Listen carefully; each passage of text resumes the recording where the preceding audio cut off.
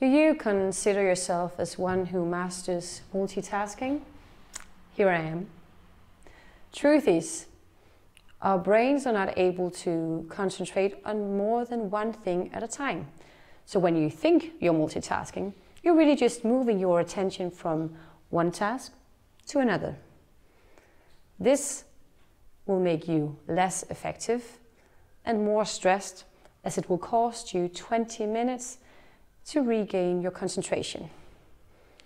But with mindfulness exercises, you can train your ability to concentrate on the task that you choose and be aware of distractions that requires your attention. Try this week's Mindful Pleazer Soft Rain.